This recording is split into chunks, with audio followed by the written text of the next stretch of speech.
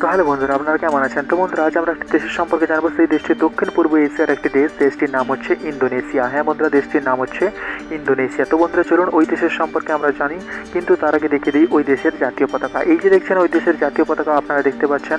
তো বন্ধুরা, আমি আপনাদের বলব, ওই দেশটি ভারত থেকে কত দূরে অবস্থিত এবং ভারতের সঙ্গে কী সম্পর্ক? আমি আপনাদের গুগল ম্যাপের সাহায্যে সাথ দেখাবো। ওই দেশটি কোথায় অবস্থিত? তো বন্ধুরা, চলুন এক এক করে জানা যাক। কিন্তু আমি আগে তার আগে বলে দিই, ওই দেশটি হচ্ছে মুসলিম বহুল দেশ। হ্যাঁ বন্ধুরা, মুসলিম বহুল দেশ ওই দেশটি। তো বন্ধুরা, চলুন ওই দেশের সম্পর্কে জানা যাক। কিন্তু আমি আপনাদের বলে দিই, ওই দেশটি পাঁচ হাজারেরও বেশি দ্বীপ নিয়ে ইন্দোনেশিয়া গঠিত। হ্যাঁ বন্ধুরা, ইন্দোনেশিয়া গঠিত পাঁচ হাজারেরও বেশি দ্বীপ নিয়ে। আপনারা দেখতে পাচ্ছেন, আমি আপনাদের দেখানোর চেষ্টা করছি। এখানে পাঁচ হাজারেরও বেশি দ্বীপ আছে, কিন্তু আমি দূর থেকে দেখেছি, তাই এখানে আপনাদের কম লাগছে। কিন্তু এখানে পাঁচ হাজারেরও বেশি ছোট্ট ছোট্ট দ্বীপ আছে এবং সেই দেশের রাজধানী জাকার্তা। হ্যাঁ বন্ধুরা, সেই দেশের রাজধানী জাকার্তা এবং সব থেকে বড় শহর এবং সব থেকে বেশি মানুষ থাকে। কিন্তু আমি আপনাদের বলে দিই, এ থেকেও আরেকটি জায়গায়, অর্থাৎ বালি এবং বলতে পারেন আরেকটি জায়গা আছে জাভা। তো ওই দুটি জায়গায় কিন্তু সব থেকে বেশি মানুষ উপস্থিত আছে। তো বন্ধু ভালো করে দেখলে বুঝতে পারবেন।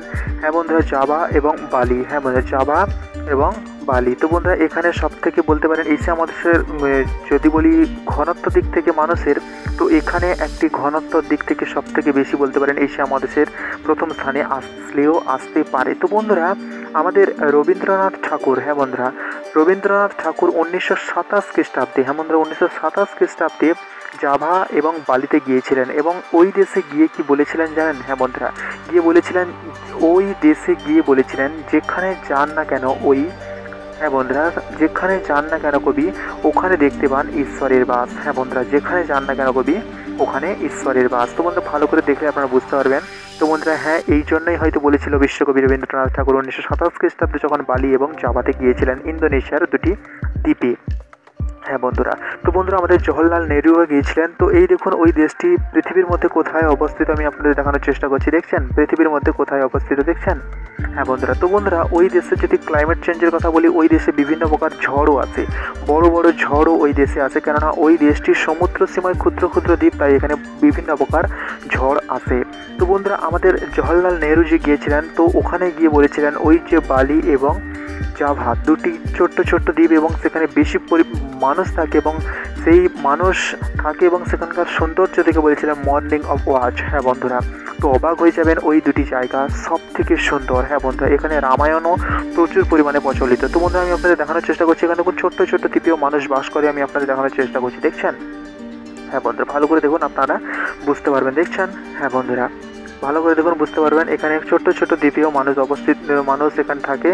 আর এই যে দেখছেন, ওই দেশের বিভিন্ন দ্বীপ, বিভিন্ন জায়গা এবং বিভিন্ন স্থানের এখানে আমি নাম আপনাদের দেখিয়েছি। ভালো করে দেখলে বুঝতে পারবেন। দেখা, দেখছেন হ্যাঁ বন্ধুরা। তো বন্ধুরা, চলুন, আমি দেখিয়ে দিই, ওই দেশে বিভিন্ন জায়গায় বিভিন্ন ন্যাশনাল এবং ইন্টারন্যাশনাল এয়ারপোর্টগুলি আছে। আমি আপনাদের এক এক করে দেখিয়ে দিই। তো বন্ধুরা, চলুন, আমি আপনাদের দেখিয়ে দিই। তো বন্ধুরা, এই দেখুন, এক এক করে এখানে যে দেখছেন লাল লাল কালারের যে লোকেশনগুলো আছে, ওখানে হচ্ছে ওই দেশের বিভিন্ন ন্যাশনাল এবং ইন্টারন্যাশনাল এয়ারপোর্ট আপনারা দেখতে পাবেন। ভালো করে দেখলে বুঝতে পারবেন, দেখছেন?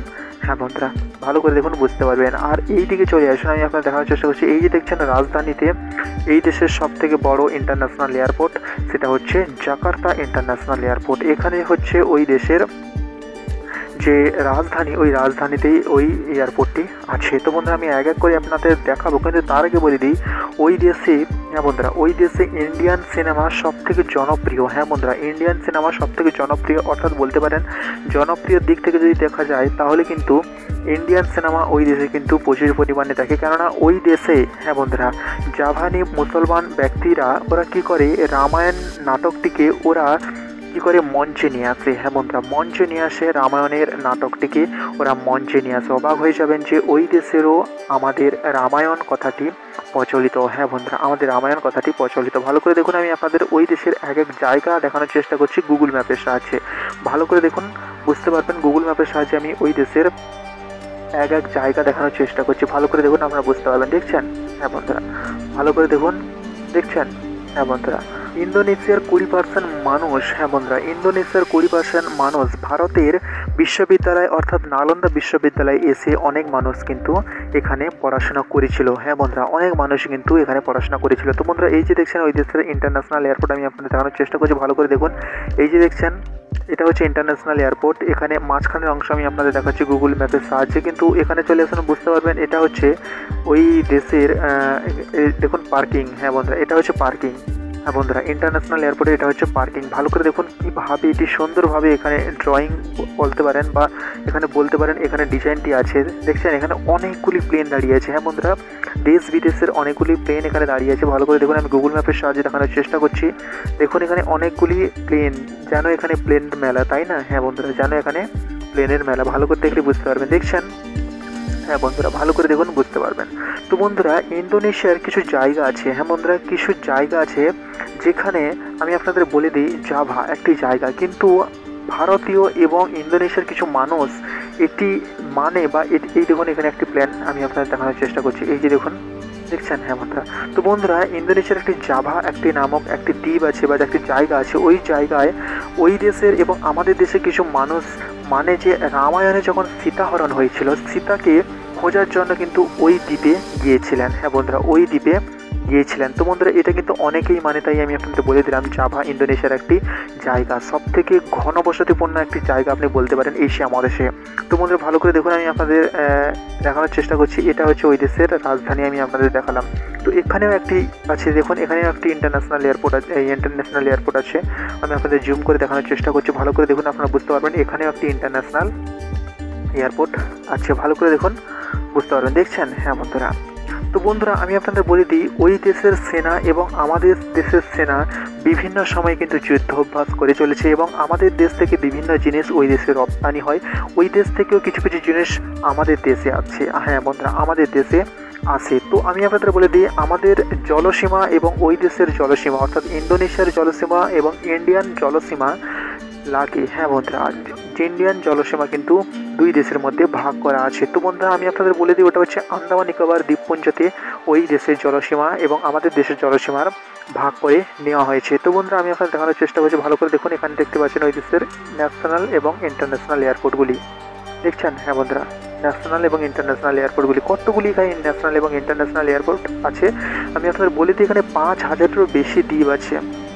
হ্যাঁ বন্ধুরা আমি আপনাদের এটা আমাদের আন্দামান নিকোবর দ্বীপপুঞ্জের কাছে নিয়ে গেছি। আপনারা ভালো করে দেখলে বুঝতে পারবেন, এটা হচ্ছে একটি ইন্টারন্যাশনাল এয়ারপোর্ট হ্যাঁ বন্ধুরা, আন্দামান নিকোবর দ্বীপপুঞ্জের কাছে আমি নিয়ে গেছি, ভালো করে দেখলে বুঝতে পারবেন। হ্যাঁ বন্ধুরা, আমাদের এখানে কলকাতা থেকে যদি আন্দামানে যাওয়া হয় শেষ প্রান্ত পর্যন্ত, তাহলে এখান থেকেও সেই আন্দামানের শেষ শেষ প্রান্ত পর্যন্ত কিন্তু একই। হ্যাঁ বন্ধুরা, ভালো করে দেখুন, বুঝতে পারবেন। আমি এখানে বিভিন্ন জায়গা দেখানোর চেষ্টা করছি। এটা হচ্ছে একটি এয়ারপোর্ট ভালো করে দেখুন, আপনারা বুঝতে পারবেন, এটা হচ্ছে একটি এয়ারপোর্ট হ্যাঁ বন্ধুরা। দেখুন, দেখছেন, এটা হচ্ছে একটি ইন্টারন্যাশনাল এয়ারপোর্ট তো বন্ধুরা, এই দেশের জনসংখ্যার কথা যদি বলি, এই দেশের এই দেশের জনসংখ্যা অনেক। হ্যাঁ বন্ধুরা, এই দেশের জনসংখ্যা অনেক। অর্থাৎ আঠাশ কোটিরও বেশি এই দেশের জনসংখ্যা। তো আমি আপনাদের বলব, কিন্তু তার আগে এখানে দেখুন, একটি ছোট্ট দ্বীপেও এখানে এয়ারপোর্ট আছে। ভালো করে দেখুন, আপনারা বুঝতে পারবেন। আমি এখানে লোকেশন ধরে আমি আপনাদের এক এক করে এয়ারপোর্ট দেখানোর চেষ্টা করছি। দেখুন, এখানে পাঁচ হাজারেরও বেশি দ্বীপ আছে। অবাক হয়ে যাবেন এই সব কথা শুনে যে এখানে পাঁচ হাজারেরও বেশি এখানে দ্বীপ থাকতে পারে এই দেশে, তাই না? হ্যাঁ বন্ধুরা ভালো করে দেখুন, আপনারা বুঝতে পারবেন, দেখছেন? হ্যাঁ বন্ধুরা এখানে দেখুন, অনেকগুলি ছোট্ট ছোট্ট দ্বীপ আছে। আমি এই জন্য বলেছিলাম পাঁচ হাজারেরও বেশি অনেকগুলি দ্বীপ।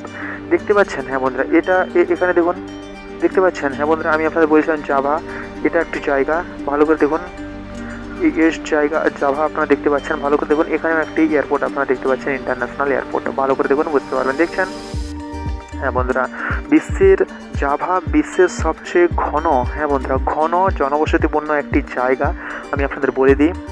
বলতে পারেন বিশ্বের সব থেকে বেশি ঘনবসতিপূর্ণ একটি জায়গা হ্যাঁ বন্ধুরা, কিন্তু এর থেকেও ঘনবসতিপূর্ণ জায়গা আছে, ভারতেও আছে। তো বন্ধুরা, এই দেখুন, আমি আপনাদের দেখানোর চেষ্টা করছি এখানে কত ছোট ছোট দ্বীপ আছে, দেখছেন?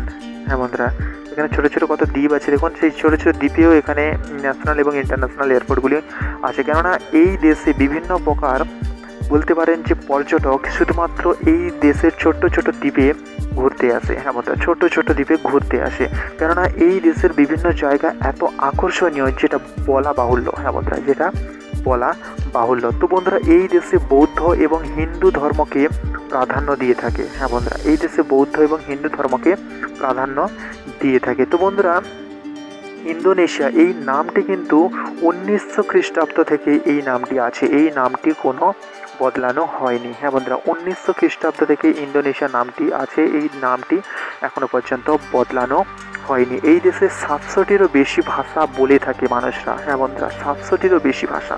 তো বন্ধুরা, চলুন, আমি আপনাদের দেখিয়ে দেবো ওই দেশের ন্যাশনাল অ্যান্থাম এবং ওই দেশের পপুলেশান সব কিছু এক এক করে কিন্তু তার আগে আরেকটি কথা বলে দিই। ওই দেশের জলের পার্সেন্টেজ যদি বলি four point eight five percent ওই দেশে জল। হ্যাঁ বন্ধুরা, ওই দেশে জল। তো বন্ধুরা, চলুন, আমি আপনাদের বলে দিই ওই দেশের ন্যাশনাল অ্যান্থাম এবং ওই দেশের পপুলেশান ওই দেশের ভাষা সব কিছুই তো বন্ধুরা, চলুন এক এক করে জানা যাক। তো বন্ধুরা, এই যে দেখছেন, ওই দেশের ন্যাশনাল অ্যান্থাম হ্যাঁ বন্ধুরা, জাতীয় সংগীত আপনারা দেখতে পাচ্ছেন ওই দেশের। তো বন্ধুরা, ওই দেশের পপুলেশান আঠাশ কোটি। হ্যাঁ বন্ধুরা, আঠাশ কোটি চল্লিশ লাখেরও উপরে। হ্যাঁ বন্ধুরা, এই দেখেন এই দেশের অফিসিয়াল ল্যাঙ্গুয়েজ আপনারা দেখতে পাচ্ছেন। এই সাতষট্টিরও বেশি এখানে ল্যাঙ্গুয়েজ ব্যবহার করা হয়। ইন্দোনেশিয়া এদেশের দেশের অফিসিয়াল ল্যাঙ্গুয়েজ এবং এখানে ধর্মের কথা যদি বলি, দেখুন এখানে খ্রিস্টান, বৌদ্ধ, হিন্দু, এখানে বিভিন্ন প্রকার ধর্মের মানুষ এই দেশে বসবাস করে। তো বন্ধুরা, এই দেশটি, দেখুন এখানে নেদারল্যান্ড এবং জাপান থেকে এই দেশটি স্বাধীনতা পেয়েছিল। হ্যাঁ বন্ধুরা, এবং কল করতে গেলে এখানে কিন্তু আপনাকে ফোন নাম্বারের আগে প্লাস সিক্স টু এখানে অ্যাড করতে হবে এবং এখানে ইন্ডিয়ান থাকে এক লাখেরও বেশি এখানে ইন্ডিয়ান উপস্থিত আছে। হ্যাঁ বন্ধুরা ইন্ডিয়ান উপস্থিত আছে। তো বন্ধুরা, আমি আপনাদের বলে দিই, ওই দেশের রাষ্ট্রপতি জোকো উইন দোদো ওই দেশের রাষ্ট্রপতি এবং উপরাষ্ট্রপতি জুফুফ হ্যাঁ বন্ধুরা, জুসুফ কাল্লা ওই দেশের উপরাষ্ট্রপতি। তো বন্ধুরা, চলুন আমি আপনাদের দেখিয়ে দিই একটি রুট ম্যাপ যেই রুট ম্যাপের সাহায্যে কিন্তু ভারত এবং ইন্দোনেশিয়া এবং আরও বাকি দেশ বিভিন্ন ব্যবসা বাণিজ্য করে থাকে। এই যে দেখছেন আপনারা, একটি রুট ম্যাপ এই রুট ম্যাপের সাহায্যে কিন্তু ভারত এবং ইন্দোনেশিয়া এবং বাকি দেশ এখানে ব্যবসা বাণিজ্য করে থাকে। ভালো করে দেখলে বুঝতে পারবেন, দেখছেন? হ্যাঁ বন্ধুরা। তো বন্ধুরা, আমি আপনাদের ইন্দোনেশিয়া সম্পর্কে বললাম। তো আরও অন্যান্য দেশের সম্পর্কে জানতে হলে প্লিজ বন্ধুরা, এই চ্যানেলে প্রথমে থেকে চ্যানেলকে সাবস্ক্রাইব নিশ্চয়ই করবেন। পাশে থাকা নিশ্চয়ই করে নেবেন। কিছু বলার থাকলে কমেন্টে নিশ্চয়ই বলবেন।